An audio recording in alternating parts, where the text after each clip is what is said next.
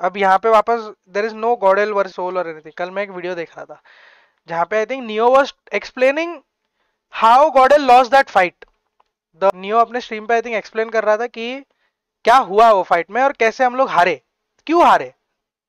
उसके कमेंट्स देख लेना वो वीडियो के जाके। कमेंट्स में क्या है, बहाने दे रहा है एक्सक्यूजेस अरे ग्रेनेड था तो क्या उसकी गलती है क्या? नहीं bro he is not giving excuses at least from that video I saw is just trying to explain to the audience the aspiring pro players कि what went wrong in that fight वहाँ पे neo नहीं बोल रहा था कि excuse अरे हम बेटर है।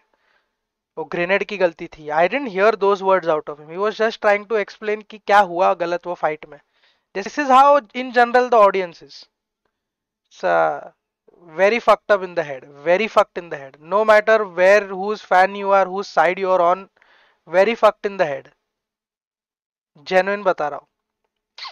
मत किया करो थोड़ा अपना दिमाग खोलो।